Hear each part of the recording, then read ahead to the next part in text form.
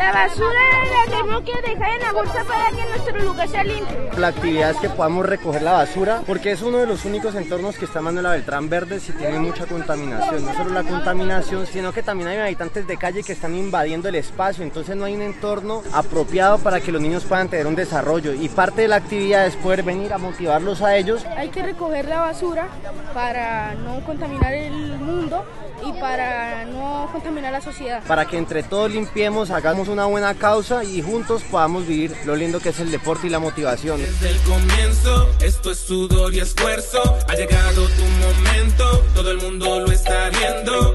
Dale para adelante y aprovecha que el momento es tuyo. Los primeros Juegos Panamericanos Junior. Me interesa la bandera, todos somos uno. Vamos a jugar. Gracias Juegos Panamericanos, siempre por vos.